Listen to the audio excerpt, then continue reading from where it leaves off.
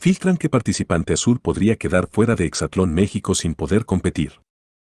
Exatlón México está a punto de llegar a la gran final, donde solo una mujer y un hombre serán los ganadores de la sexta temporada, sin embargo, las polémicas se han hecho presentes desde el inicio, pues recordemos que Antonio Rosique anunció las votaciones del público para mandar a los atletas al duelo de eliminación.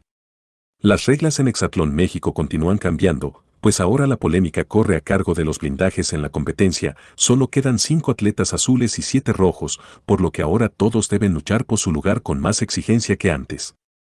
Por si fuera poco, Liliana está en riesgo de salir, y esta sería la razón.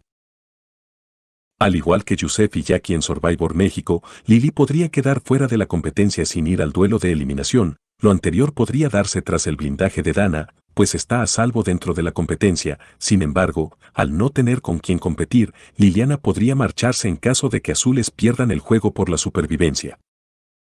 Liliana quedaría eliminada automáticamente, pues no tendría rival azul, la atleta podría salvarse si un atleta roja va al duelo de eliminación, pero no está nada seguro, Liliana es la mujer que está en riesgo, aunque no se sabe qué decisión tomará la producción.